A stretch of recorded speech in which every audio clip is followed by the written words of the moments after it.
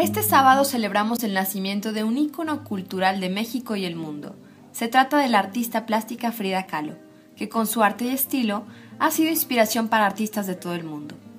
Aún pasados casi 60 años de su muerte, su influencia en el arte y moda siguen vigentes. Su rostro está presente en salas de arte, películas, ropa y muchos artículos inspirados en su vida y obra. Frida Kahlo no pasa de moda.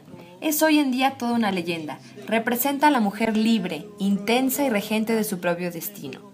La fuerza de su rostro, su cabello trenzado, sus tocados de flores, el bordado en sus vestidos y sus grandes accesorios han inspirado a muchos quienes le hacen un homenaje al hacerla partícipe de sus creaciones.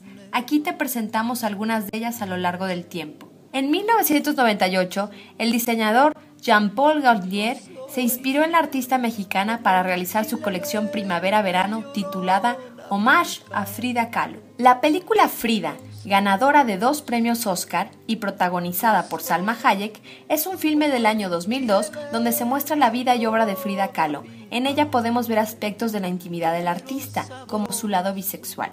En 2011, la revista de moda Vogue México realizó una sesión fotográfica bajo el nombre La Fuerza de Frida, en la que el artista y su casa fueron el hilo conductor. En 2012, el artista chileno Fabián Ciralo se dio a conocer gracias a su ilustración de Frida Hipster, la cual nombró Frida Kahlo Daft Punk, la cual fue la primera imagen de su colección Classic Taste Better. El look de Frida sigue marcando tendencia y este año ha regresado con mayor fuerza.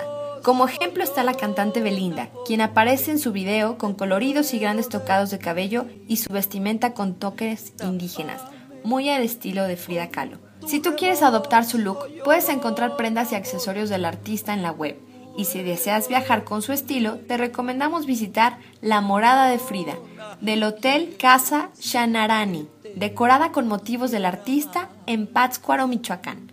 O escápate a Puebla y hospédate en el Hotel y Spa El Sueño, donde la decoración tiene el toque de Frida con su tradicional folclor mexicano.